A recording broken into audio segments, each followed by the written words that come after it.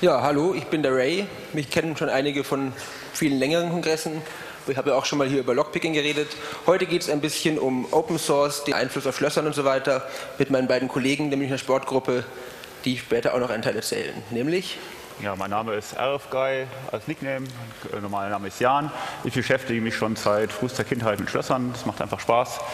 Und bin auch Mitglied im Münchner CCC und auch seit einigen Jahren aktiv in der äh, Sportgruppe München. Genau, und ähm, ich bin der Michael, MH. Ich ähm, sammle seit über 30 Jahren Schlösser, ähm, habe Spaß daran, die zu analysieren und wir werden euch heute ein bisschen was darüber zeigen. Ja, genau. Wir fangen mal an hier. Es ist heute eine totale Widescreen-Präsentation, also sehr weit. Das ist 16 zu 9 nochmal gestreckt, tut uns leid, aber irgendwie klappen die Auflösungen, die hier stehen, nicht ganz so, wie sie sollen. Worum geht's? Es geht erstmal um Secret Keys, kennt ihr alle von eurem SSH, habt ihr aber auch für eure Haustür. Dann irgendwas, was in New York passiert ist. Es hat mit Standardschlüsseln zu tun, es gibt noch mehr Standardschlüssel, die kann man auch verstecken. Das ist ein Thema, was auch in New York besprochen wird, aber einige mich darauf angesprochen haben, noch habe ich es mit reingenommen, obwohl es nicht ganz zu Open Source passt, weil einen richtigen Open Source dazu, doch wir haben Source Code, das passt. Gut, und dann geht es um 3D-Drucker, die im Prinzip die Brücke bilden zwischen Open Source und der physikalischen Welt, sprich aus Quellcodes zu Schlüsseln Schlüssel machen. Und um Elektronik, wo im Prinzip man die physikalische Komponente ein wenig weglässt und das, den Secret Key tatsächlich in Software implementiert. Gut, und dann haben wir zum Schluss noch ein kleines Leckerli. Ein völlig neues Schloss, das wir uns angeschaut haben und ja, durchaus einige interessante Feststellungen gemacht haben. Darüber werden dann vor allem Jan und Michael sprechen. Gut, Secret Keys, was meine ich damit? Damit meine ich das. Ähm, okay, ich glaube, der ist jetzt nicht mehr ganz so secret. Deswegen habe ich auch nicht meinen genommen, sondern der gehört Sebastian H. obwohl sein wirklicher Name ist. Ich hoffe, er passt nicht zu seiner Haustür. Die Frage ist, was ist daran jetzt eigentlich Secret? Also bisher gewesen eigentlich nur der Schließcode, weil das Profil ist ein Standardprofil. Im Prinzip besteht so ein Schlüssel immer aus zwei Anteilen. Einmal ist es der Rohling, der durch verschiedene Sperrrippen, also ich sollte vielleicht mit der Maus machen, damit wir es auch im Stream sehen. Also hier das Profil ist durch diese Rillen gekennzeichnet. Das hier ist ein sogenanntes Standardprofil. Das heißt, wenn man weiß, dass ein Abo ist, weiß man, wie das ausschaut. Und das echte Geheimnis liegt in diesen Einschnitten hier. Wir haben hier fünf Einschnitte die verschiedene Tiefen haben. Da hängt vom Hersteller ab, aber wenn man den Hersteller kennt, sind die definiert. Bei Abos denke ich acht oder neun, die genau definierte Höhen haben. Das heißt, ich kann das als Code aufschreiben 2, 1, 5, 3, 3 oder sowas. Hier fehlt leider eine Folie, darum muss ich relativ viel erzählen. Ich weiß nicht, wo die verschwunden ist. Eigentlich hätten das drei sein sollen. Jedenfalls, ähm, diese Zahlenkombination ist eigentlich das einzige Geheimnis in diesem Schlüssel. Warum funktioniert das trotzdem so gut. Weil im, im Prinzip es ist ja nicht so, dass Leute andauernd euren Schlüssel mal gesehen haben und dann in eure Wohnung gehen.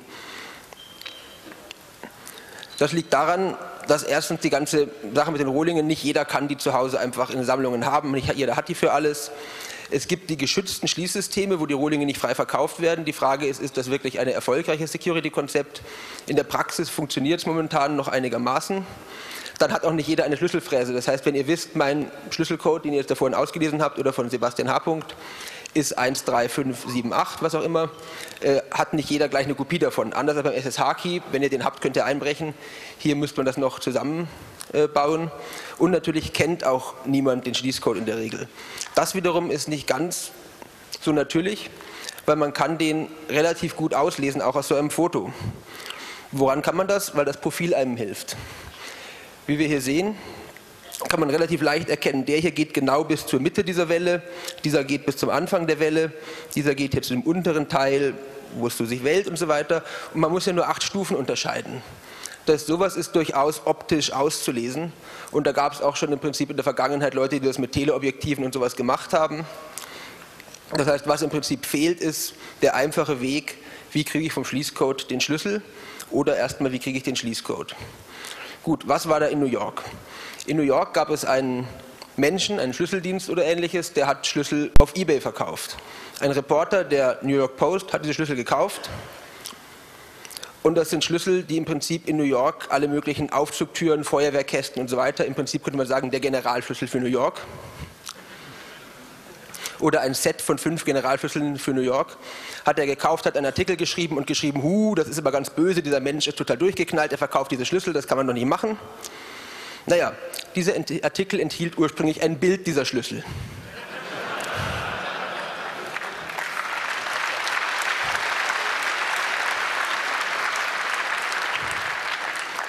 Da ist die Lockpicker-Gemeinde natürlich sofort aufgesprungen, hat diesen netten Menschen angeschrieben, hat gesagt, hallo, du regst dich etwas auf und machst selber den größten Fehler, den man nur machen kann. Die Antwort war, the post published pictures of the fire service keys only after checking with locksmiths who said duplicates could only be made without the original in hand. Das heißt also, äh, wir haben das nur gemacht, dass die mal wirklich vergewissert haben, äh, das kann man gar nicht kopieren von den Bildern hm, jetzt haben die halt irgendeinen Locksmith gefragt, der so einen Laden in New York hat und die kopieren Schlüssel halt, indem sie eine Fräse spannen, die tastet an der einen Seite ab und schneidet auf der anderen. Das heißt, die können einen Schlüssel nur kopieren, wenn sie Original haben. Das ist aber jetzt natürlich keine Aussage, dass das generell so ist. Im Prinzip, wenn man den Schließcode kennt, aus dem Bild kann man den lesen, kann man den mit einer Pfeile, kann man den mit einer äh, Maschine, die nach Code schneidet, einfach machen. Und das Tragische dabei ist, wie ihr seht, der Artikel ist ja jetzt ohne Bild. Aber da ist dieses Problem mit dem digitalen Radiergummi. Das ist jetzt von der Huffington Post. Der Artikel ist immer noch online, sonst würde ich es hier nicht zeigen. Aber den Artikel gibt es leider immer noch online und es gibt zig weitere Kopien, die einfach das quasi abgeschrieben haben, was der geschrieben hat. Das heißt, diese Schlüssel sind jetzt bekannt. Sie haben verschiedene Schließsysteme, aber im Prinzip sagen alle Leute, die sich mit amerikanischen Schlüsseln auskennen, das reicht aus, um diese Schlüssel nachzufeilen. Und soweit ich weiß, wir kommen später zum Thema 3D-Drucker, gibt es auch schon Leute, die die drucken wollen. Das heißt also, irgendwelche Gebäude in New York, die sich darauf verlassen, dass ihre Feuerwehrschlüssel in solchen Kästen stecken und so weiter, müssen jetzt aufpassen, dass sie das vielleicht ändern. Gut, das ist jetzt aber nicht nur ein New Yorker Problem. Solche Standardschlüssel gibt es auch in Deutschland. Ich weiß nicht, wie viele damit vertraut sind, aber in der Regel eben für Feuerwehren, für anderes in Gemeinden gibt es Schlüssel, die sperren solche Kästen auf, wo dann die echten Schlüssel im Gebäude drin sind. Und das ist in der Regel wirklich ein Schlüssel. Also ich habe den zum Beispiel für München theoretisch wurde mir mitgeteilt, der sperrt tatsächlich in sehr vielen Gewerbeimmobilien einfach einem die Tür auf. Oder die Hintertür oder die Garagentür oder ähnliches. Das heißt, das Einzige, was Leute daran hindert, dass diese Schlüssel weit benutzt werden, ist, dass es bisher auf Thingiverse davon keine Modelle gibt. Ist natürlich die Frage, würde das klappen? Ähm, gehen wir erstmal zurück zu einfachen Standardschlüsseln. Ein Thema, auf das ich nach meinem Talk, ich glaube vor fünf Jahren müsste das schon gewesen sein, über Handschellen oft angesprochen war, was ist denn mit diesem Standardschlüssel für Handschellen? Der ist tatsächlich relativ simpel und ist eben auch ein Schlüssel für im Prinzip alle. Viele Leute glauben, da hat irgendwie jedes Modell oder jede Polizeieinheit oder irgendwas einen eigenen. Die sehen auch verschieden aus, sind aber im Prinzip alle völlig gleich. Völlig gleich sind sie nicht. Es gibt wirklich Unterschiede in Mikrometern. Aber im Prinzip, es gibt so zwei Hersteller, deren Schlüssel passen eigentlich eh schon überall. Und die Kollegen von Tool haben letztes Jahr auch ein bisschen nachgemessen. Und hier ist der erste Source Code. Und wenn man den Schlüssel auf diese Maße feilt, dann passt er im Prinzip in 99,9 Prozent aller im Einsatz befindlichen Handschellen, zumindest in der westlichen Welt. Das heißt, also dieses Konzept eines Standardschlüssels und zu hoffen, dass den niemand hat, ist ein bisschen problematisch. Hier Dank an David Ollem für diesen schönen Source Code. Äh, bisher gibt es davon kein 3D-Modell, weil der einfach ein bisschen filigran ist, wobei ich gestern schon von jemandem gehört habe, der hat mich darauf angesprochen, der will es versuchen, weil die Drucker entwickeln sich ja mit der Zeit auch weiter. Das heißt, vielleicht kann man den bald auch, wenn man die passende Maschine hat, sich nachdrucken. Ups. Gut, was man aber auch kann, ohne die nachzudrucken, es gibt die auch fertig aus Plastik oder versteckt. Ich will auf diese Details hier, glaube ich, nicht so sehr eingehen, weil wir am Anfang ein bisschen Zeit verloren haben. Da sind verschiedene Varianten, solche Schlüssel versteckt zu tragen, aber immer noch aus Metall. Es gibt die aber auch nachgegossen aus Plastik. Das ist also nicht 3D gedruckt, sondern halt in der Form gegossen, aber halt Plastik und in relativ unauffällig, sage ich mal. Das heißt, das 3D zu drucken ist zwar möglich, allerdings gibt es sie auch schon relativ billig fertig, von daher eigentlich kein so spannendes Ziel. Das ist ein Reißverschlussanhänger, sieht erstmal unauffällig aus, innen wieder Plastikschlüssel. Das, da kommt auch am Flughafen, was weiß ich, problemlos durch, weil merkt man nicht. Ein Armband, sieht aus wie so ein äh, Parachort für den Handgelenk, in der Schnalle wieder ein Schlüssel.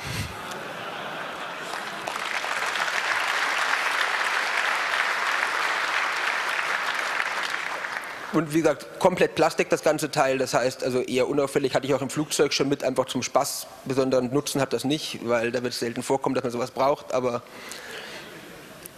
den nicht, andere kommen wir später zu. Aber gut, die Schnalle gibt es übrigens auch einzeln, das heißt, äh, kann man an Rucksäcke überall dran montieren. In Plastik im Prinzip möglich. Gut, aber wie gesagt, Standardhandschellen ist ein altes Thema, hatten wir schon, wird langsam langweilig. Wir wollten zu 3D-Druckern, zu Lasercuttern und zu etwas schwierigeren Schlössern. Das erste, was wir mit 3D-Drucker gemacht haben, erinnern sich vielleicht Leute darauf, auf der H 2009. Da haben wir den Handschellenschlüssel der holländischen Polizei nachgedruckt, weil war ja in Holland. Äh, das war im Prinzip der allererste Schlüssel, soweit ich recherchiert habe, der ein echtes Schließsystem sperrt, der mit einem 3D-Drucker gedruckt wurde.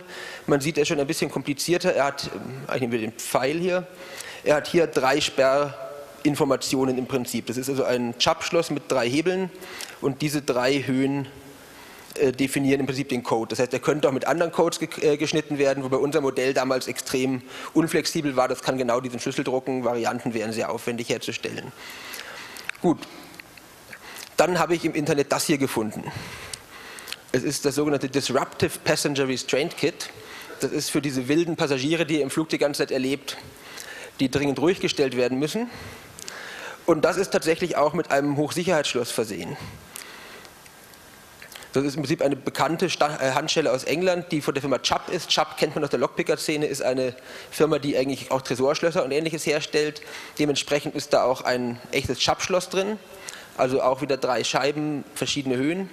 Ich habe es da mal aufgemacht, dass man mal sehen kann, wie die Mechanik funktioniert. Ja, lieber nicht den Laserpointer. Was wir hier sehen, sind diese drei Scheiben. Die bewegen sich auf und ab durch Federn gedrückt von hier unten. Und wenn die durch den Schlüssel in die richtige Höhe gedrückt werden, dann tut dieser Spalt sich quasi ausrichten und dieses kleine Metallteil kann sich hineinbewegen. Also das ist im Prinzip schon eine richtige Sperrfunktion, aber mit drei Höhen noch relativ simpel und vor allem, was das Schöne ist, man sieht hier einen geraden Schlitz ohne irgendwelche Bolzen in der Mitte. Da habe ich mir gedacht, das muss man doch 3D drucken können habe also erstmal geschaut, ob das überhaupt aus Plastik funktioniert, an der Kreditkarte einen Nachschlüssel geschlossen, äh, geschnitten. Das kann man sich mit der Nagelschere oder so auf der Flugzeugtoilette auch mal kurz selber machen. Jetzt wisst ihr endlich auch, warum Nagelscheren an Bord verboten sind.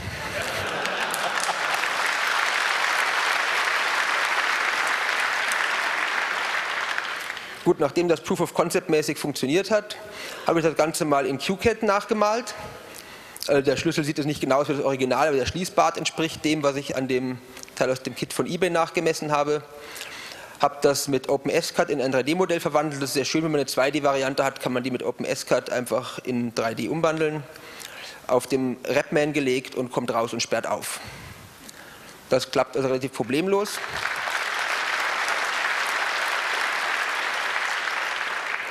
Das Lästige dabei ist, wer sich mit 3D-Druckern schon mal beschäftigt hat, das dauert alles doch eine gewisse Zeit. Inzwischen, ich habe gestern unten einen Drucker gesehen, der hat ein rollendes äh, Bett, wo man den Schlüssel fast schon auswerfen kann, das dauert trotzdem viele, viele Minuten, man muss justieren, man muss ihn und so weiter. Und wir haben noch diese tollen Lasercutter. Haben wir mal geschaut. Das macht er übrigens in ungefähr einer Minute. Funktioniert wunderbar genauso.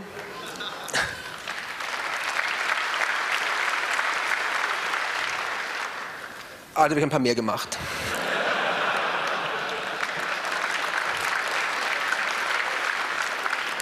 Also dafür braucht er dann ungefähr sechs Minuten. In der Zeit hat er der D-Drucker 2 gemacht. Gut, das ist jetzt alles so ein bisschen nicht ganz aktuelle Sachen, weil das haben wir dann in New York, also habe ich auf der Hope in New York präsentiert, kam da auch relativ gut an und hat einen netten Artikel auf Forbes, ich gebe es zu, nur dem Forbes-Blog, schade, Mystery Man of the Year bleibt mir noch erspart, äh, veröffentlicht, aber hat dann relativ viel in der Presse, wurde da retweetet, wie das heißt, bei Forbes weiß ich nicht, jedenfalls abgeschrieben und ja, hat einige Reaktionen gegeben. Äh, eine zweite äh, Handschelle, die ich dabei auch noch aufgemacht habe, die sieht man hier auch im Bild, ist eine jetzt nicht besonders relevante aus Deutschland, die auch einen Standardschlüssel hat, war halt auch flach, konnte sich auch nachbilden. Der Punkt dabei war, die ist im Prinzip überhaupt nicht im Einsatz. Das heißt, ist, die ist auch nicht von eBay zu bekommen, die hatte ich auch nicht von eBay. Da habe ich mir gedacht, gut, da muss ich das 3D-Modell jetzt nicht zwingend ins Internet stellen. Aber Forbes hat es gemacht. Der Herr konnte es nicht lassen, in seinem Artikel ein hochauflösendes Bild beider Schlüssel abzudrucken und auch noch meinen Schlüssel mit beiden Enden dazwischen zu legen. Gut, ich habe ihm direkt danach gesagt, das war jetzt nicht so klasse, weil da wird es Leute geben, die werden das ausmessen, werden einen Schlüssel danach machen und dann wahrscheinlich irgendwo ins Internet stellen. Denkt man, ja, aber das ist doch aufwendig aus dem Bild und wirklich. Gut, auf Thingiverse ist er.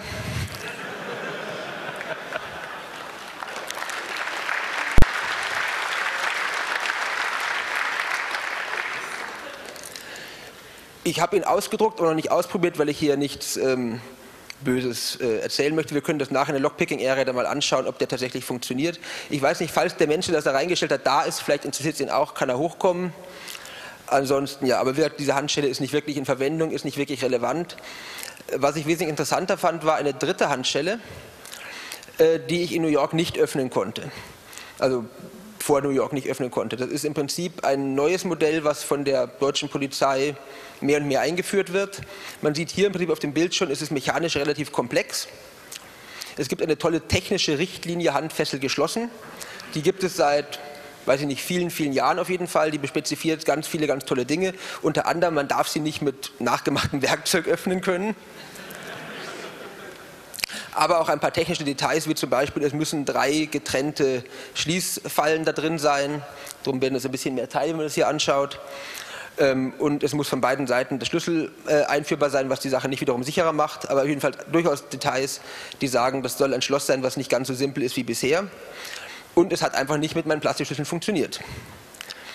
Jetzt sind wir bei dem Punkt, wenn solche Schlösser sich ein bisschen wehren, dann muss man sie aufmachen.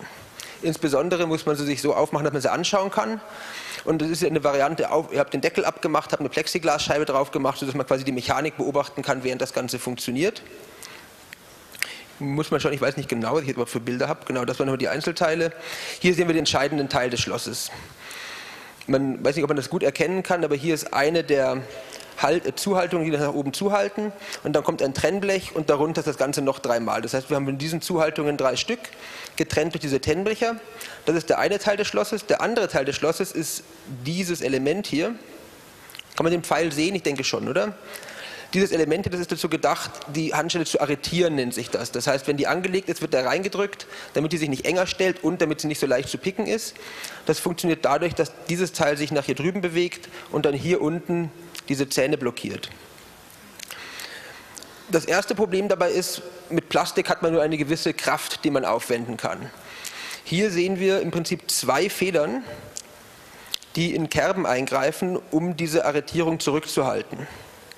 Ich weiß nicht, ob das zu erkennen ist. Fall eine geht hier unten in eine Kerbe, eine geht hier in zwei Kerben. Was ich ein sehr lustiges Detail dabei fand, ist mir mit Benutzung überhaupt nicht aufgefallen. Aber die haben tatsächlich es so gebaut, hier sind zwei Kerben das heißt, der greift sowohl, wenn die Arretierung nicht eingedrückt ist, als auch wenn sie eingedrückt ist. Hier ist nur eine Kerbe. Der tolle Effekt dieser raffinierten Technik ist, man kann das Teil leichter reindrücken als wieder rausnehmen. Gut, dafür haben sie einige extra Teile, einigen Guss, aber ich denke, das ist halt typisches German Engineering, because we can.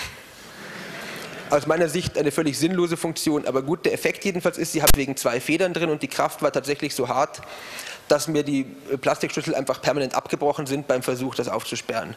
Weil man hat halt nur die zwei Millimeter. Mit Acryl ist einfach die Kraft, die man aufwenden kann, begrenzt. Wer es kennt aus Laserkarten, die Dinger brechen einfach leicht. Dafür wurde mir in New York tatsächlich bereits aus dem Publikum eine schöne Lösung vorgeschlagen. Nämlich Lexane hat der Mensch damals gesagt. Er meinte damit Polycarbonat. Das ist im Prinzip von Bayer auch verkauft als Makrolon, ist also Markenzeichen, gibt über verschiedene Varianten, ist effektiv alles das gleiche und das lässt sich auch lasercutten. Ist ein bisschen anstrengender, ich weiß nicht, das hatten vom Raumzeitlabor schon mal welche auch probiert. Das schneidet furchtbar hässlich, es stinkt, es qualmt, aber es ist halt deutlich stabiler. Damit lässt sich die Kraft aufwenden, aber es hat noch immer nicht funktioniert. Bricht weiterhin ab, wenn man es reinsteckt. Muss man genauer hinschauen. Und es hat sich herausgestellt, das Schloss hat tatsächlich eine sehr überraschende Eigenschaft. Es wehrt sich gegen flexible Schlüssel. Ich glaube nicht, dass das rein designt ist, aber es ist halt da. Und wie funktioniert das? Hier ist der Schlüssel, der Originalschlüssel im Prinzip. Der ist auf die volle Höhe und betätigt beide Teile des Schlosses zeitgleich. Das heißt, wenn man den dreht, fängt er hier unten an, diese Arretierung rauszuschieben und fängt hier oben an, die Zähne runterzudrücken. Ähm, der Effekt davon ist, es ist relativ einfach, Schlüssel rein, 90 Grad drehen und die Handschelle ist offen, ist im Prinzip bequem zu bedienen für den, der es machen muss. Hat aber den Effekt, wenn hier dieses Objekt, das grüne hier, in irgendeiner Form flexibel ist, dann muss es hier ja die Kraft aufwenden, um diese beiden Federn zu überwinden. Während es hier im Prinzip noch gar keine Kraft aufwenden muss und auch später kaum Kraft, weil das hier relativ schwach gefedert ist. Das heißt, hier biegt es sich, bevor sich die Arretierung bewegt, während es hier schon runterdrücken will. Und damit macht es genau das, was ich nicht möchte, es verklemmt sich selbst. weil es fängt an, hier Kraft auszuüben, während diese beiden Teile noch in Kontakt sind, rückt damit auf die Arretierung und erhöht die Kraft, die man braucht, sie rauszudrücken. Und dort hält sich gerade so die Waage, dass im Prinzip je mehr man dreht, desto stärker wird es festgehalten und das heißt im Prinzip wahrscheinlich auch ein deutlich stabileres Material, solange es irgendwie flexibel ist. Und das sind diese Plastiksachen eben alle, funktioniert nicht. Gut, lässt sich aber auch lösen. Man lässt einfach ein Ende weg. Das ist im Prinzip der Schlüssel, wie er na eben, gut, ich habe jetzt leider das Original gar nicht mit drin, aber das Original hat einfach beiden Enden hier diese Zähne gehabt, um eben beides zeitgleich auszulösen. Eine Seite weg, dann tut der Schlüssel natürlich nicht mehr diese Funktion erfüllen, dass er beides öffnet, aber man kann ihn nacheinander einsetzen. Da habe ich jetzt leider kein Video für. Ich weiß nicht, haben wir die Kamera hier oder können wir irgendwo zoomen, dass ich eine Live-Demo durchführen kann?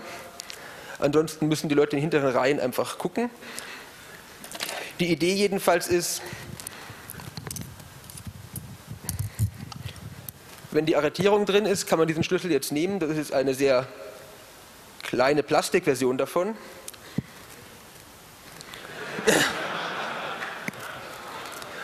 Unten reingehen, erstmal drehen, man braucht relativ viel Kraft. Wir können das nachher oben in der Lockpicking-Area auch gerne mal anschauen. Äh, man glaubt, der bricht ab, aber er sperrt irgendwann, macht die Arretierung auf. Das heißt, jetzt ist es nicht mehr arretiert. Jetzt kann man es anders, ups, schwierig mit zwei Mikrofonen und Händen, andersrum reinstecken.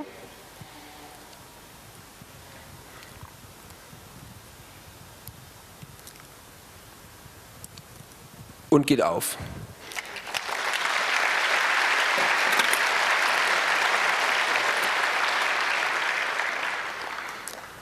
Da, da dieses äh, Modell und dieser Schlüssel im Prinzip auch relativ leicht verfügbar und weit verbreitet ist, das heißt, das ist jetzt kein großer Secret Key mehr, werde ich das 3D-Modell nachher auch irgendwo mal vielleicht to Thingiverse oder sonst wo hochladen. Das heißt, wer möchte, kann da auf dem Kongress mit dem Lasercutter oder auch mit 3D-Druckern mal versuchen, das nachzudrucken. Und ich werde im Prinzip die Handschelle in der Lockpicking-Area mal lassen, da kann man dann ausprobieren, ob die Varianten funktionieren. Ja. Ah, genau. Das wäre es eigentlich wieder zum Thema der Handschellen. Im Prinzip nur ein kleines Intermezzo, dass Standardschlüssel eben einfach nicht äh, ja, im Zeitalter von 3D-Technik unverbreitbar sind. Gut, zurück aber zu den richtigen Schlüsseln, wie wir sie am Anfang hatten. Ich will mal die Zeit im Blick. Ja, halb. Halb, ja, okay, da haben wir im Prinzip unseren Zeitschnitt schon wieder zu schnell aufgeholt, aber passt, denke ich, wir haben nichts Wesentliches weggelassen. Ja, bei den echten Schlüsseln hatten wir das Problem, dass die Rohlinge also dass es Firmen gibt, die glauben, wenn man Rohlinge ähm, schützt, nicht verkauft, nicht jedem gibt, dass das das Problem löst, dass man die einfach kopieren kann. Es gibt seit relativ langer Zeit dieses schöne Gerät, das sich Easy Entry nennt. Das ist im Prinzip ein sehr spezieller 3D-Drucker oder eine CNC-Fräse. Eher eine CNC-Fräse, weil er fräst weg und baut kein Material auf. Jedenfalls, dieses Gerät macht genau das, was die Hersteller von den Schlössern nicht wollen. Es tastet einen Rohling ab und kopiert den. Äh, wenn man den Rohling kopiert hat, kann man im Prinzip ganz normal, wie wenn es ein Standard-Abos-Rohling wie vorhin aus dem Text gewesen wäre, ähm, äh, in seine Schlüsselkopiermaschine äh, spannen und den kopieren. Das heißt, diese ganzen Schlüssel für Schließanlagen, für große Immobilien, was auch immer, wo es heißt, do not duplicate, können nur mit Schlüsselkarte kopiert werden. Also sind alle nach, äh, nachzumachen. Im Prinzip muss man davon ausgehen, wenn man einen Schlüssel einmal aus der Hand gegeben hat, der einem standardmechanischen System entspricht, dann konnte der von demjenigen kopiert werden. Jetzt gibt es natürlich noch einen weiteren Schutzmechanismus. Die Schlüsselrohlinge werden nur nicht, nicht, nur nicht weitergegeben. Die sind teilweise auch durch Patente geschützt. Da sind zum Beispiel Überhänge drin, da sind ähm, ja, einfach verschiedene Sperrelemente drin, die man eventuell dann nachbildet und alles überwinden muss. Äh, die Easy Entry löst das Problem relativ einfach. Ich weiß nicht, ob man das lesen kann. Sie sagt hier jedenfalls Gefahr von Patentverstoß, Gebrauchsanleitung okay oder Stopp.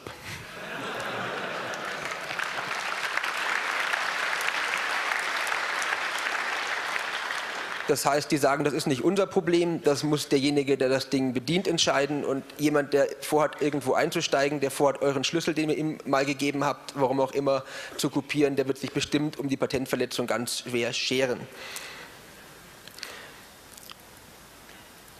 Ja, genau. Ähm, es hat sich aber auch einiges getan im 3D-Drucken. Das ist etwas, was nicht ich gemacht habe, sondern jemand anderes, den ich in Amerika auf der LockCon getroffen habe. Das hier ist ein Modell für einen Schlake-Schlüssel, was ein standardamerikanisches Hausschloss ist. Und der hat den mit einem 3D-Drucker nachgedruckt und er hat nicht einfach nur seinen Hausschlüssel nachgedruckt, sondern er hat ein OpenSCAD-Modell erschaffen, wo man als Parameter diesen Schließcode eingeben kann. Das heißt also diese fünf oder sechs Höhen der Pins und es erzeugt ein 3D-Modell und druckt genau diesen Schlüssel. Das heißt, das ist in der Tat dann im Prinzip der finale Todesstoß für die, für die äh, Secret Key Kopiersicherheit von Haustürschlüsseln. Man muss nur noch die Zahlen kennen, die man trivial auslesen kann, wenn man das Ding in der Hand hatte, gibt es ins OpenSCAD ein und hat ein funktionierendes 3D-Modell. Für deutsche Schlösser könnte das ein bisschen schwieriger sein, weil die teilweise relativ gemeine Profile haben, die ein bisschen filigraner sind. Für so ein Abus-Standardschloss müssen wir es mal ausprobieren oder auch für im Prinzip das, ich habe jetzt Abus gesagt und dieser Rohling ist extrem verbreitet. Die allermeisten Standardschlüsse haben ein sehr ähnliches Profil, das dem nicht so unähnlich ist. Müssen wir mal ausprobieren, könnte klappen. Kann man also im Prinzip als leicht kopierbar ansehen, sollte man sich nicht darauf verlassen, dass wenn man den mal aus der Hand gegeben hat oder auch nur hat fotografieren lassen, also irgendwo liegen lassen, wo ihn hätte fotografieren können, dass das sicher ist. Ist natürlich alles sehr ärgerlich, ähm, weil man hätte eigentlich gerne Schlüssel, die einem niemand einfach so wegkopiert. Vielleicht sogar, die man mal jemandem leihen kann, der entfernt bekannt ist, mal in die Wohnung soll, wie auch immer, ohne dass er eine kopiert. Gut, im Prinzip bietet sich für uns Informatiker, Kryptologen, Hacker, was auch immer, da Elektronik an. Weil wir glauben, Elektronik beherrschen wir, Elektronik hat Kryptographie. Und im Prinzip stimmt das auch. Also wir haben bei Mikrochips Möglichkeiten, Sachen zu schützen, die immer wieder ausgehebelt werden, immer schon mal besser sind. Und vor allem die Kryptographie ist auf einem Stand, wo sie im Prinzip momentan das Rennen gewonnen hat. Also das heißt, Kryptographie ist stärker als die vorhandenen Angriffsverfahren. Es gibt natürlich immer wieder Schwächen in Implementierungen, es gibt Schwächen in irgendwelchen Algorithmen, die relativ alt sind, aber aktuell existiert Kryptographie, wo wir davon ausgehen, wenn wir die richtig benutzen, ist die erstmal sicher. Schwierig ist natürlich trotzdem, solche Tokens zu erstellen, die tatsächlich nicht kopiert werden können. Da kann man zum Beispiel äh, Code-Eingabe machen, also quasi eine Passphrase. Das Problem, was aber der, trotzdem entsteht, ist in der konkreten Umsetzung. Ein ganz schweres Problem dabei ist, haben wir hier die Hardware, hier haben wir es nicht als extra Folie. Ah ne, machen wir gleich. Genau. Also jedenfalls erstmal die konkrete Implementierung und man könnte sowas einfach fertig kaufen. Es gibt etliche Hersteller, die verkaufen Elektronikschlösser und ähm, könnte man sagen, nehmen wir so eins, die versprechen alle, man kann den Schlüssel nicht kopieren, also gehe ich jedenfalls davon aus, bei den allermeisten, wo ich es angeschaut habe, steht deutlich bei, der ist total unkopierbar, der wird euch in die Hand gedrückt, den kann nur der Schlüsseldienst euch kopieren. Das große Problem ist, die verstehen dieses Kerckhoffsche Prinzip alle nicht. wir wissen es eigentlich alle, ein Kryptoalgorithmus muss so gut sein, dass bei vollständiger Kenntnis des Algorithmus seine Sicherheit in keinster Weise geschwächt ist. Das hat von diesen ganzen, aus dieser Schlossindustrie, aus dieser Mechanik kommenden Welt, kein einziger Hersteller, mit dem ich bisher gesprochen habe, und ich habe mit einigen gesprochen, verstanden. Die verwenden alle proprietäre Verfahren, das kennen wir zum Beispiel von Logic, MyFair und so weiter. Die waren so lange gut, bis sie jemand angeschaut hat und dann waren sie halt kaputt. Das heißt, vielleicht wussten die auch aus gutem Grund, warum sie nicht verraten, was es ist. Andere hingegen stellen sich ganz stolz hin und sagen, wir benutzen AES 128. Wenn man aber fragt, wie erzeugt ihr denn die Seeds, wie hasht ihr denn irgendwas, wie bildet ihr denn die Challenge, das ist ein geheimes Verfahren, das verraten wir nicht, das wäre ja völlig unsicher, wenn wir euch das erzählen würden.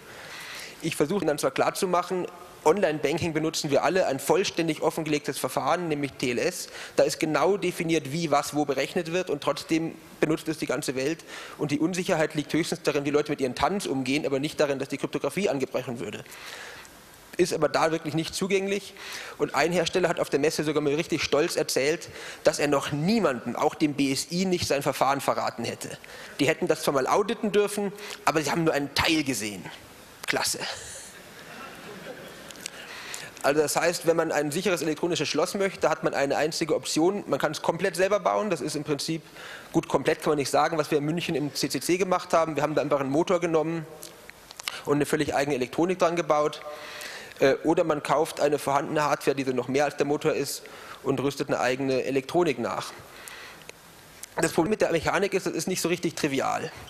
Also in so einer handlichen Form eines Zylinders elektromechanisch sicher zu schließen, da braucht man irgendwelche Aktoren und so weiter, das ist gar nicht so einfach. Was eben funktioniert, ist so ein Motorschloss, wo die Tür einfach durch den Motor auf- und zugeschlossen wird. Das heißt eben, wir haben in München so einen extern angesteckten Motor gehabt, in München neuen Club, der wird das neu gebaut, aber von der Idee wird es auf wieder rauslaufen, wo wirklich ein Motor die Nase des Schlosses rein und raus bewegt, da ist kein klassischer Zylinder mehr drin. Sowas funktioniert gegen Magnet und ähnliche Angriffe sehr gut. Man muss halt schauen, dass keiner an die Drähte drankommt und den Motor direkt betreibt.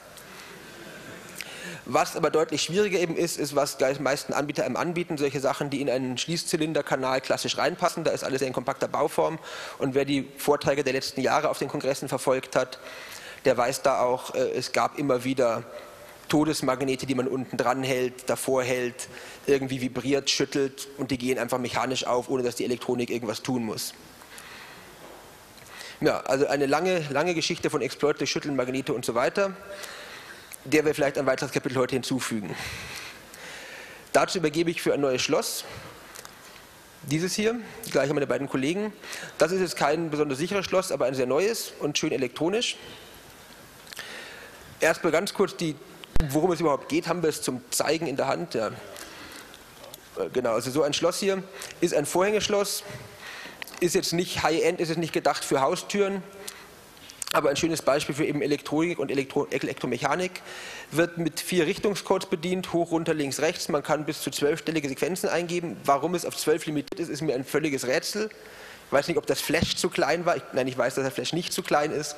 Aber ist auch halt zwölf Stellen begrenzt aus reinem Zufall und ist gar nicht so ganz blöd. Man kann einen Code definieren, der es aufmacht und umkodieren erlaubt und drei weitere Codes, die man Bekannten, wem auch immer geben kann, die es zwar aufsperren, aber die keine Programmiererlaubnis haben.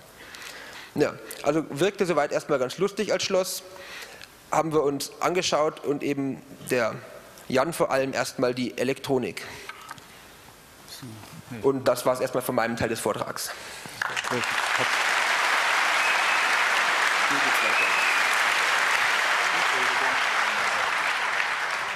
So, ich sage herzlich willkommen. Also wir haben uns auch dieses Schloss, das haben wir äh, auf der Masterlog-Seite, hat es dann jemand gefunden. Ich habe das natürlich noch direkt bestellt, musste das ein bisschen so über äh, Borderlinks bestellen, weil die Firma halt nicht nach äh, Deutschland direkt liefert. Und wir haben sie tatsächlich zum, zur Deutschlandmeisterschaft auch bekommen. Ähm, das Schloss äh, hat eine nette Elektronik drin. Vielleicht kann man mal kurz das vielleicht mal zeigen. Ich habe mal kurz die Kamera auf mich. Wir haben nachher Bilder, glaube ich. Ja, aber hier ist das, also wie gesagt, das ist so, die Elektronik ist so ein kleines, nettes Platinchen.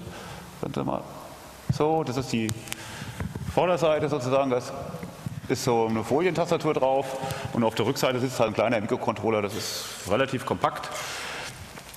Dann nehmen wir mal den Vortrag wieder. So, kleine Leiterplatte ist auch nur einseitig bestückt. Wie gesagt, auf der Rückseite ist halt diese äh, Folientastatur, ist ein kleiner DC-Motor drin, also nicht mal ein Schrittmotor, sondern einfach ein kleiner Motor mit so einem kleinen MOSFET-Treiber äh, drin. Habe natürlich das auch ein bisschen reverse engineert, haben direkt mal einen Schaltplan von gemacht. Das ist ein MSP 430 Controller, der sitzt hier so, ähm, hat hier so einen kleinen äh, Power Saving Mode, den er über so ein MOSFET einschaltet.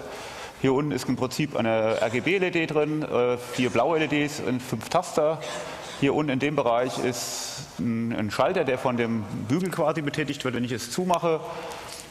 Das hier oben ist dieser Brückentreiber, ist auch ganz simpel gemacht. Es ist wirklich nur vier MOSFETs, zwei N-Kanal, zwei P-Kanal, zwei N, ein Megaohm der Stände, die das quasi äh, antreiben. Das Ganze sehr auf Stromsparen ausgelegt. Also äh, der Controller setzt sich dann selber in den Sleep Mode rein, indem er seine Versorgungsspannung abschaltet und nur noch über sich regelmäßig dann retriggert. Ähm, und hier hinten noch so eine, ähm, das Nette an dem Schloss ist zwei Batteriefächer, da kommen wir später nochmal dazu. Man kann so ein, das, wenn das Schloss abgeschlossen ist, dieses Batteriefach im, im, unteren Bereich, kann man ein Stück herausziehen und kann dann senkrecht eine Knopfzelle reinhalten, um das Schloss zu bestromen, wenn die äh, Hauptbatterie leer ist. Das Ganze ist hier oben noch in dem Bereich so ein bisschen mit einem äh, kleine Sicherung, eine Verpullungsschutzdiode, eine Diode in Serie und noch so eine Transistorschaltung mit einer 10er Diode, die halt dafür sorgt, wenn die Spannung zu hoch wird, dass dann dieser Resistor aufmacht und dafür sorgen soll, dass diese Sicherung hier im Prinzip äh, auslöst. Hier ist nochmal kurz über den Mikrocontroller. Wie gesagt, ein äh, von Texas Instrument, ein MSP 430 äh, F2132, extrem low power. Das Schöne an diesem Controller ist, es gibt freie Programmierumgebung dafür, sogar zum, vom Hersteller. Der hat netterweise auch die komplette Toolchain dafür und das äh, Debug-Tool für MSP430 freigegeben. Kann man sich bei TI runterladen. Leider ist das eine Windows-Software, die auch leider sehr groß ist, aber verfügbar. Es gibt aber auch freie Compiler für diesen Controller. Das Nette, was natürlich der Hersteller gemacht hat, was wir ganz toll finden, hat den SPI-by-Wire-Anschluss und das GTEC äh, auf der Leiterplatte als Testpunkte herausgeführt. Das heißt, wir können dieses Schloss relativ einfach kontaktieren. Und netterweise muss man es nicht ganz zerlegen. Man kann also, wie man hier auf der linken Seite sieht, von der, wenn man den Deckel geöffnet hat, liegen hier die SPI-by-Wire-Anschlüsse direkt verfügbar. Oder man hat es äh, auf der Hauptplatine auch nochmal mit Stromversorgung. Man kann direkt da Spannung einspeisen, kann man das Schloss äh, äh, ähm, die Backen. Netterweise hat der Hersteller auch keine Fuses gesetzt. Man kann also die Firmware ganz normal auslesen. Fand ich auch sehr nett. Aber ist in dem Fall auch unkritisch. Ich meine, in dieser Firmware selber ist erstmal kein Geheimnis drin. Was wir noch nicht gemacht haben aus Zeitgründen, ähm, ähm, Mastercode, gibt es einen Code, der alle Schlösser öffnet, ist da eine Backdoor eingebaut. Das muss jetzt halt durch Disassembly der Firma noch getestet werden, was wir in den nächsten äh, Wochen, denke ich mal, auch dann vollständig durchgeführt haben. Hier habe ich so ein nettes ähm, Demonstrator oder ein Debugboard gebaut. Das ist so eine Holzplatte, wo man die Elektronik quasi hier oben direkt draufstecken kann. Das sind so Federkontakte äh, aufgemacht. Da sitzt man hier oben, sieht man jetzt, wie die Elektronik drauf sitzt. Und das Programmer ist netterweise, gibt es eine nette 5-Dollar-Lösung, die TI selbstverständlich zur Verfügung stellt. Das sogenannte Launchpad. Ähm, mal zurück. Ähm, das ist dieses Launchpad hier, was man hier so sieht. Das ist, äh, kann man direkt den Controller, der dabei ist, herausziehen. Man muss diese vier Drähte, diese zwei Datenleitungen Plus und Minus anschließen und sofort kann man an dem Schloss herumdebacken. Eigentlich eine ganz nette Lösung. Sehr nett. Dankeschön, Masterlock, dass sie uns so einfach macht. Natürlich habe ich mir mal so ein bisschen über elektrische Angriffe mal was überlegt.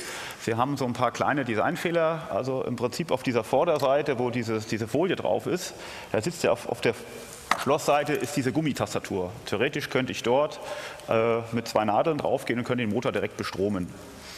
Das Weitere ist, dieses Batteriefach ist halt, wo ist denn die Kamera? So. Dieses äh, Batteriefach ist halt, und das ist diese Folientastatur. Ich hoffe, man sieht so einigermaßen.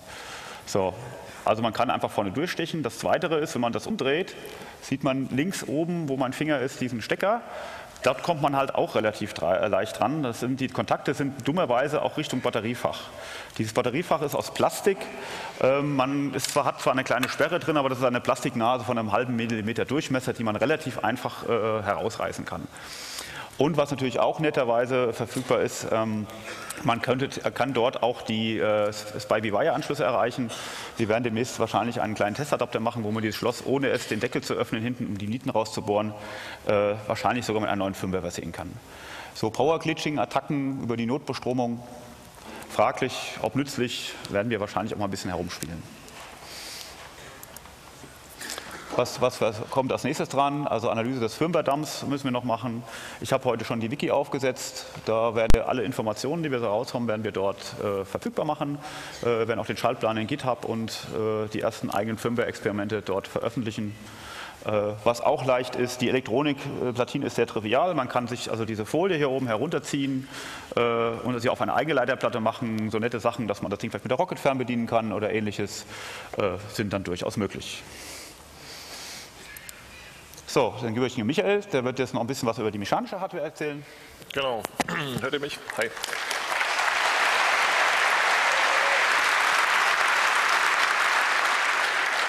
Also wie ihr ja schon rausgehört habt, ähm, haben wir uns natürlich gedacht, das wäre doch ein ideales äh, kleines Bastelobjekt, mit dem man ähm, wunderbar ein erstes Open Source Log implementieren könnte. Hat schöne blinkende Lichter, kann man benutzen für den, den Spind im Club und so weiter. Ähm, dann haben wir gedacht, das muss natürlich gut genug sein, also wie sagt man, ähm, sicher genug und haben es zerlegt, klar, ähm, haben angeschaut, wie funktioniert es. Jetzt ähm, bräuchte man vielleicht nochmal die Folien bitte. Genau. Haben angeschaut, wie funktioniert es. Also relativ standardmäßiger Aufbau. Man zieht an den Bügel dran. Hier gibt es so zwei Rollen, äh, links und rechts eine. Wenn man an den Bügel zieht, möchte hier ein Element nach unten gedrückt werden. Äh, hier ist eine Sperrscheibe, die sorgt dafür, dass ähm, äh, der Bügel nur dann, nach äh, nur dann rausgezogen werden kann, wenn vorher der Motor richtig gedreht hat. Äh, diese Sperrscheibe sieht man hier. Hm, dieses Gelbe stellt das Teil dar, was da rein möchte in die Öffnung und wenn man die Sperrscheibe um 90 Grad dreht, dann passt das da rein. Ähm, zu beachten ist, das ist äh, eine starke Umwucht, also es möchte gerne in diese Position fallen hier, also möchte gerne, je nachdem wie man das Schloss hält, nach offen fallen. Allerdings gibt es hier so Kerben, die das normalerweise verhindern. Gibt es ein schwarzes Element hier, was äh, vom Motor gedreht wird und äh, das normalerweise blockiert. Also ähm, haben alle möglichen Manipulationsversuche, wo man es schüttelt und äh, dran wackelt und so weiter, sind äh, fehlgeschlagen. Wir dachten, das machen wir mal ein bisschen systematisch. Ähm, ja, fräsen es auf, bauen es wieder zu, schauen es ganz genau an, äh, haben immer noch nichts mit Schütteln gefunden, aber äh, haben dann natürlich doch das übliche, den Evil Magnet ähm, angesetzt. Und ähm, jetzt würden wir euch kurz das gerne noch als Video zeigen. Das ist wahrscheinlich das einfachste in restlichen Minuten. Wer geht es? Genau, wie viel? Ja. Mikro noch an? Nein, doch, ja. Ja, also. Ähm, genau. Wir, haben überlegt, wir könnten das hier jetzt live zeigen, aber das klappt natürlich in der Regel praxismäßig. Also hat das hier ausgeschaltet? Ja, also. Ähm, ähm, um Macht mir denn die Mikros aus hier? Wie gemein. Das ist gemein, eben was noch an. Genau. Und wir können auch parallel mal versuchen, live zu zeigen. Wir haben es nur sicherheitshalber als Video vorbereitet, okay, also. weil sowas ja immer toll klappt auf der Bühne. Also es ist halt das übliche Problem mal wieder. Mit äh, Magneten, trivial ging es nicht, einfach so ziehen wie bei verschiedenen alten, dass der Starkmagnet es wegzieht. Aber mit dem richtigen Move, den eine anonyme Person uns hier mal vorführt, also, das Schloss ist zu, es war. sperrt elektrisch ab. Genau, das ist auch ein Punkt, man muss es zumachen, dann sperrt der Motor es elektrisch ab, weil allein würde es nicht einrasten. Ja, jetzt kommen die Moves. Hier wird jetzt der Motor durch den Neodymmagnet gedreht. Also im Inneren dieser Motor wird leicht mitgedreht. Hat man im offenen Schloss eben sehr schön gesehen. Das hilft bei der Analyse dabei sehr gut. Man wechselt ab und zu die Pluralität, weil es ab und zu in eine Dead-End-Position kommt und schüttelt ein bisschen wegen der Unwucht und offen. offen ja. Und offen.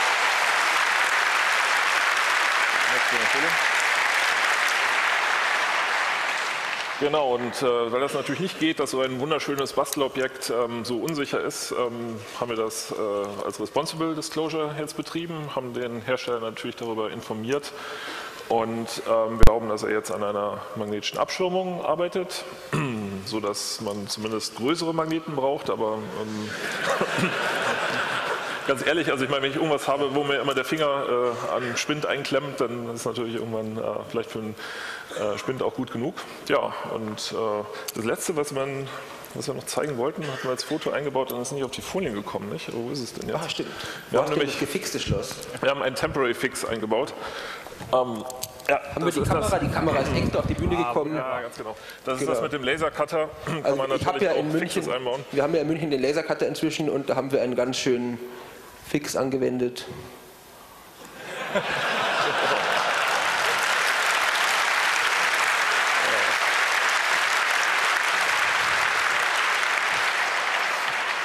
Das muss, muss erstmal reichen. Ja, wir sagen Dankeschön und gehen jetzt ins etwas kurze QA.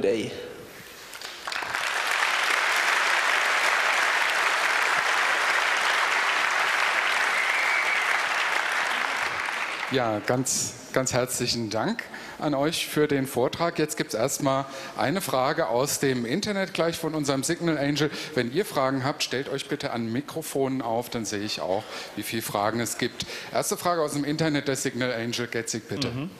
Ähm, Erste Frage, da ist den Leuten das mit diesem Schlüsselkasten wohl ein bisschen sauer aufgestoßen. Wie ist das ähm, bei Wohnungen? Also wenn man im Block wohnt, muss man da auch davon ausgehen, dass irgendwo im Erdgeschoss ein Schlüsselkasten ist mit einem Generalschlüssel oder mit dem eigenen Wohnungsschlüssel?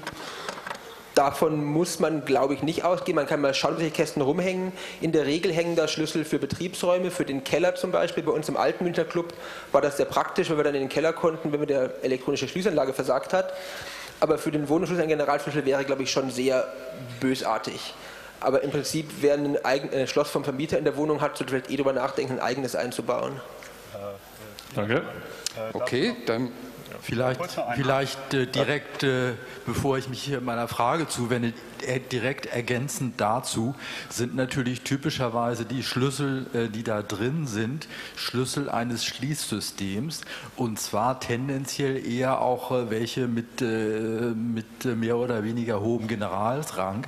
Auf jeden Fall aber schon mal ein sehr großer Schritt in die richtige Richtung, um sich eine Idee davon zu verschaffen, wie denn die einzelnen Wohnungsschlüssel wohl aussehen könnten. Ja, wes weshalb ja. du eben für deine Wohnung ein eigenes Schloss einbauen Ja, ja, klar, das, das ist natürlich die sowieso einzig senkrechte Lösung. Nur, nur so als Ergänzung, äh, ja, wo, wo, das jetzt das, gerade aufkam. Dazu noch eine Sache.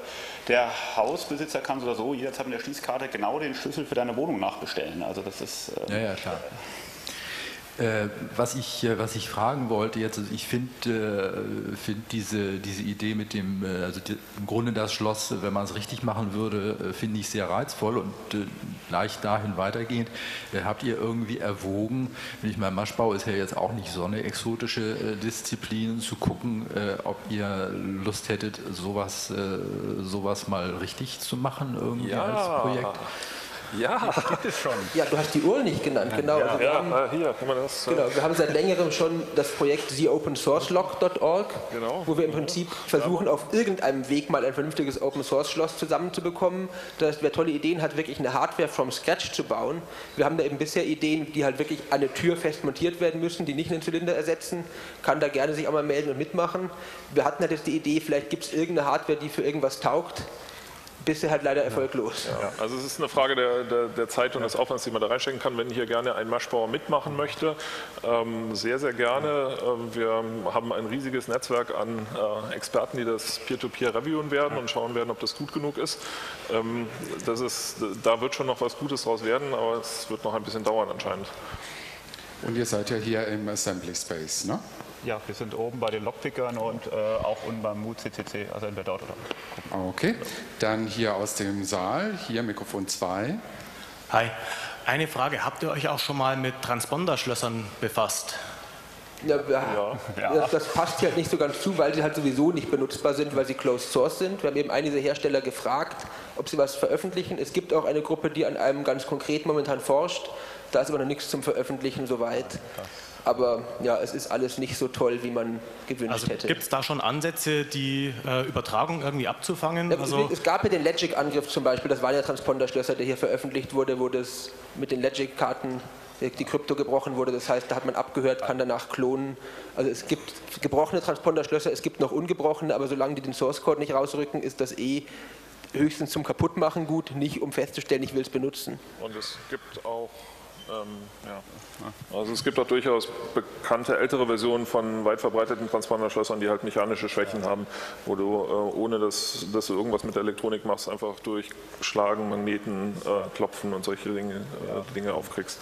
Es gibt, gibt auch den, den, Hersteller CES, der macht halt äh, Schlösser von äh, die mit MyFair oder Logic arbeiten, da gibt es dann halt die IAMs und SAMs. Ich meine, wenn ich einen SAM habe, der höher geordnet ist, dann kann ich auch mir einfach ein, ein, ein Schließmedium äh, berechtigen.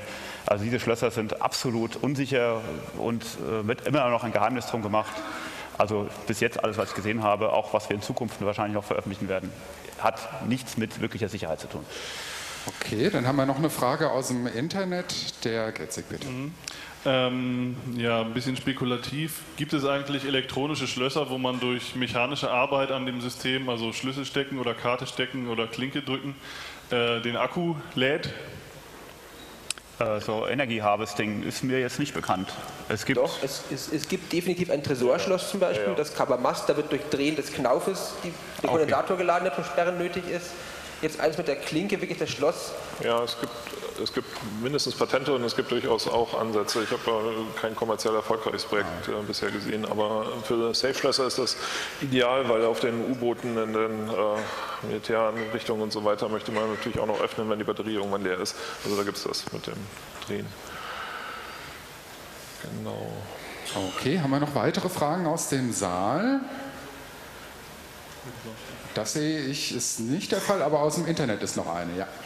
Ja, eine habe ich noch. Ähm, Gibt es gute Motorschlösser, die man in den Türrahmen einbaut oder sollte man die Finger davon lassen? Also wir haben äh, im Club bauen wir gerade ein neues System auf, äh, wo ich jetzt auch äh, mit äh, die Hardware mache und die Schlosscontroller. Es gibt von, von FF oder Arthur Abloy oder von Dorma gibt es sehr gute Motorschlösser, die auch eine Überwachungssteuerung haben, ob Türklinke gedrückt ist, ob, ob die Steuerfalle gedrückt ist und die sind mechanisch sehr gut. Aber setzt euch hin, wenn ihr den Preis von so einem Einsteckschloss hört, das liegt bei etwa 600 Euro. Und bei Dommer will man noch einen Lock-Controller verkaufen, der dann nochmal um die 350 Euro kostet. Ähm, es ist eine hervorragende Lösung, aber sie kostet leider äh, einen sehr überteuerten Preis. Und dazu gibt es halt auf Ebay entsprechende Sachen. Ja, ja wir haben es in Ebay, das sage ich dir.